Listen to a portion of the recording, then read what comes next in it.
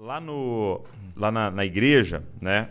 Para quem não conhece, pastor Marcos lidera Eleve, na igreja da cidade, São José dos Campos. E você também é, foi colocado, né, empurrado para a igreja online é, nesse período? Você te, é um dos responsáveis? Quando veio a pandemia, eu fiquei liderando um tempo a igreja online. Tá. Tá, daí a gente estruturou várias coisas e tal. E hoje o pastor Andrei assumiu. Ah, legal. Então você é. deu start ali naquele momento? Isso.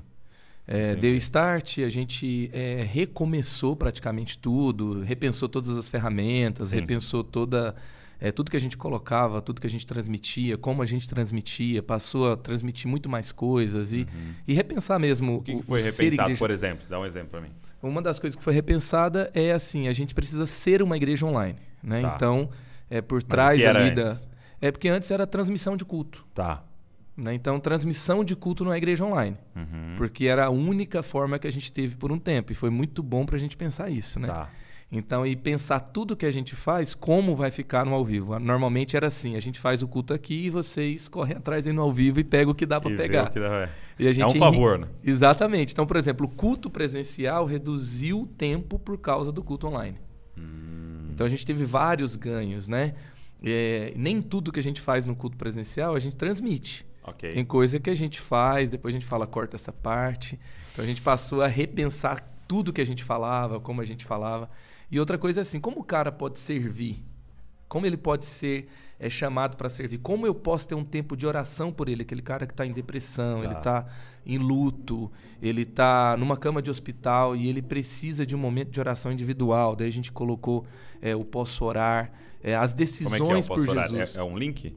Tem um link, um QR Code na tela e aí tem um, é, vai para um Zoom, que é um Zoom é, com várias pessoas ali, ele é recebido. Então, fica depois do culto, essa galera no Fica Zoom? durante o culto também. Ou durante, uhum. É, tem um momento de intercessão que a gente chama, aí fica ali o culto inteiro e no final a gente chama de novo. A gente tem atendido 50, 60 pessoas Uau. todo culto. Então fica uma galera de plantão. Fica. Nesse Zoom, quem for entrando, é o time de intercessão do profético, né? Cara, é aí é, eles têm uma palavra inicial e eles são separados para várias salas. Aí nessas salas eles são ministrados num a um mesmo. Sim. E é muito legal os testemunhos, né? Aí os nossos pastores que só é, às vezes nunca participaram daquela sessão ali, muitos pastores, né? Então eles tiveram a experiência também de ir lá para ver como é que é, como é que funciona. E aí a gente pôde enriquecer bastante essa experiência. O aceitar. Jesus também mudou bastante também a Vocês forma... têm os pequenos grupos? Não. A gente tem sim. A gente tem as células online, sim.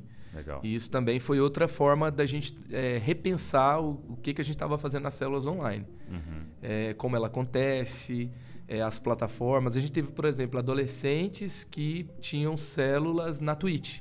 Uau. Que eles jogavam, eles conversavam, era muito mais fácil para eles, né?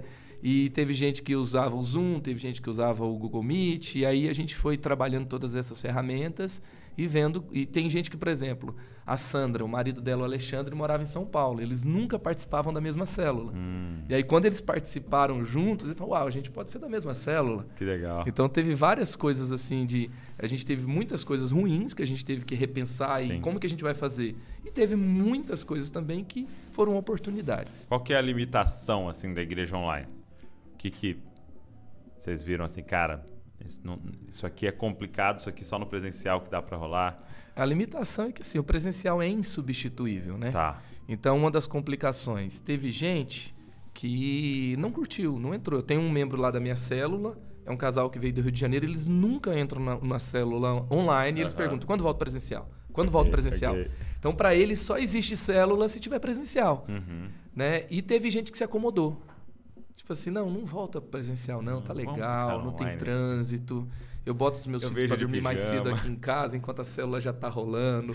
Eu deixo aqui a câmera desligada, eu tô fazendo meu menino dormir. Quando ele dormir, eu conecto. Uhum. Entendeu? Tem de tudo. Então é. E, e, os jovens sentiram muito, né? Sim. A, a, o cara tá ali, vai viajar, o cara tá ali, ele é, vai fazer uma prova de OAB, ele vai fazer o Enem, ele vai é, se casar, ele quer conhecer alguém para se casar. E aí vai para o online, é insubstituível a presença, o presencial. Sim. Então são limitadores, né? Para uma fase de juventude é Uhum, muito complicado. Para alguém que já está casado com filhos, você pode tender à acomodação. Porque ele já tem uma célula presencial, que é a família dele, né? Exatamente. É, é. Então, assim, é, acaba que é uma conexão a mais, é um conteúdo, tal. Mas ele tem esse contato o tempo todo humano, né? Com a família. Isso é interessante.